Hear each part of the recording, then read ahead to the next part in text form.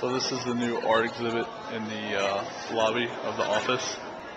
Um, as you can see, it's some hares or rabbits holding hands. The reaction has been controversial, to uh, to say the least.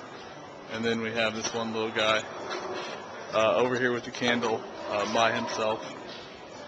Um, I kind of like it, to be honest with you. But uh, everybody else has been a little, I guess, uh, less than receptive. But it's art. What can you say?